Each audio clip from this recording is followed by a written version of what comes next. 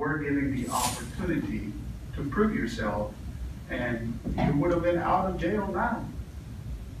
But for the fact that you, quote unquote, made a mistake, as your attorney has put it. I don't blame you for the mistakes you have made. I just expect you to pay for them.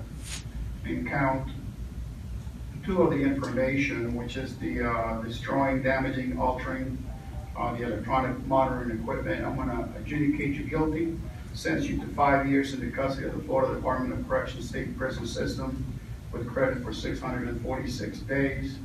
And count one, for the escape charge, I'm gonna sentence you to five years in state prison.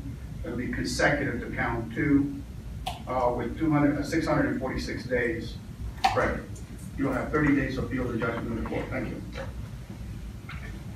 Be I was surprised. We thought that uh, we were going to reach, the jury was going to reach a guilty verdict, and the sentence uh, is a legal sentence. I think it's a bit harsh, but it's a legal sentence. Uh, My client was disappointed and and not happy, of course, and uh, we are going to be filing an appeal.